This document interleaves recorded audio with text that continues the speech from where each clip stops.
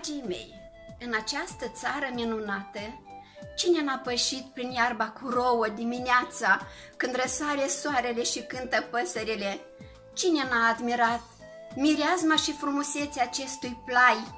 E țărișoara mea, a ta, a tuturor. Cum să nu-ți iubești acest plai, gură de rai?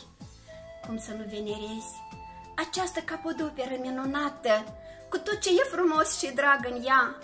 Oameni, limbă, obiceiuri și tradiții din neam. De aceea, cu drag, împreună cu copiii din grupa Luceafărul, vom călători prin Moldova virtual și ce impresii ne-au lăsat copiii să-i admirăm. Limba noastră e o comoară în adâncuri înfundată, un șirac de piatră rară pe moșilie revarsată. Acesta este drapelul Republicii Moldova. Culoarea albastră simbolizează cerul pașnic și libertatea. Galben simbolizează bogăția omului și a naturii. Culoarea roșie simbolizează sângele poporului varsat în хлопці.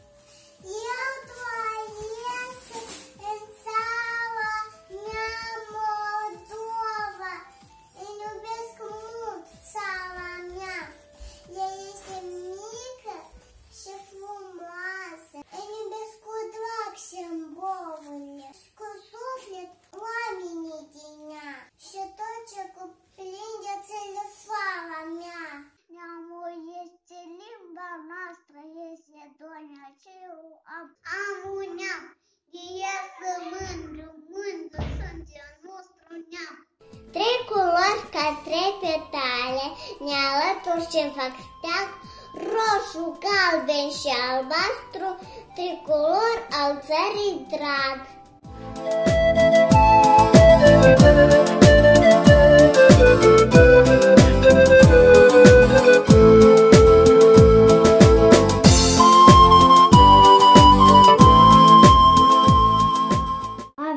Avia marcată cu cinci coloane de pe aleea clasicilor. Busturile scriitorilor Ion Creangă, Grigore Viu Ieru, Mihai Eminescu. Monumentul lui Ștefan cel Mare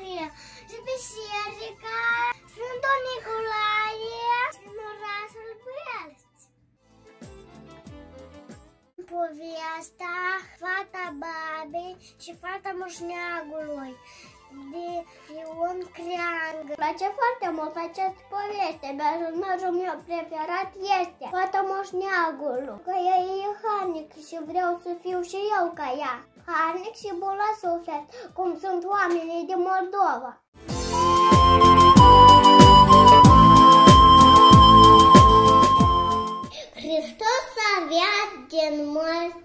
Cu moartea prea moartea călcând, lumina docând celor din morminte. Dumnezeu primăvară, când a prânz printre aste, el a prânz peste sală, cu lacrima limbii noastre. Copiii ne învață să iubim, să păstrăm tot ce ne-a creat Dumnezeu și ne-a lăsat moștenire Marele Ștefan, acestui popor, o țară, o limbă, un neam. Să trăiești Moldova în viac, țara mea și al meu meleag.